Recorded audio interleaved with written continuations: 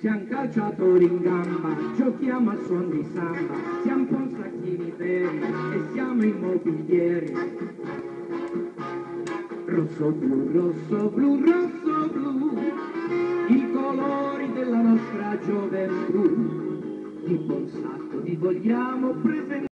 Al Ponsacco sono bastati 90 minuti regolamentari per staccare il pass per la finale di Coppa Toscana che si terrà il 15 gennaio 2014 contro la Bucinese. Grazie a una doppietta di Cristian Brega il Ponsacco batte per 2-0 il Pesce Ozanese e vola in finale. Parte subito in avanti il Ponsacco con Tamberi, la sua palla messa al centro, Gemignani libera.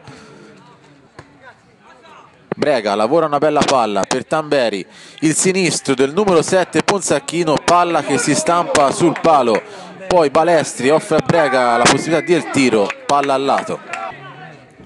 Lunardi, esordio per lui con la maglia rosso-blu, il suo cross, facile la presa del portiere. Si fa vedere il pesce ozanese, il cross di Melani Cappellini esce attento. Ancora Tamberi sulla sinistra, il suo cross in mezzo per la testa di Cristian Brega, palla di molto al lato. Doveri, Tamberi, Lunardi, il cross per il centro dell'area, Gemignani prima e Melani poi sventano la minaccia. Balleri si incune a centrocampo, steso con le cattive dal terzino Lucchese, primo ammonito dell'incontro. Brega lascia sfilare per Brondi il tiro debole, facile la parata del portiere del Pesce Ozanese.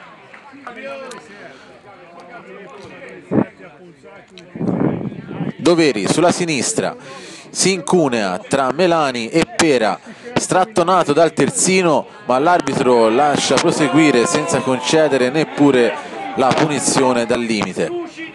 Ancora Doveri sulla sinistra, cerca il cross sul secondo palo per Tamberi che non ci arriva. Pera, sempre molto aggressivo, un brutto fallo sul Lici, secondo ammonito dell'incontro. Beccato dal pubblico il numero 4 per i fatti successi in campionato con Biagio Pagano, l'espulsione che costò 5 giornate all'attaccante Ponsacchino. Balestri in area per Doveri, l'arbitro ferma il gioco per un fallo di mano del numero 10. Il cross di Lunardi, Doveri strattonato, l'arbitro a un passo decide di far proseguire l'azione senza concedere il penalty. Finisce il primo tempo sullo 0-0, la ripresa non vede nessun cambio da parte delle due squadre. Barzotti, scambio con Balestri, entra in area il difensore Ponsacchino, steso da Gemignani per l'arbitro Baschi di Livorno è calcio di rigore. Rigore che se ne incarica lo specialista Cristian Brega Ponsacco in vantaggio al 48esimo con il rigore realizzato da Cristian Brega. Primo cambio per mister Lazzini, esce Doveri dentro Bortoletti. In contropiede Balestri fa sportellate con la difesa avversaria, il cross in mezzo per Brega anticipato da Pera. E poi commette fallo l'attaccante Ponsacchino sul corner di Tamberi Brega il suo tocco è deviato da Strufaldi.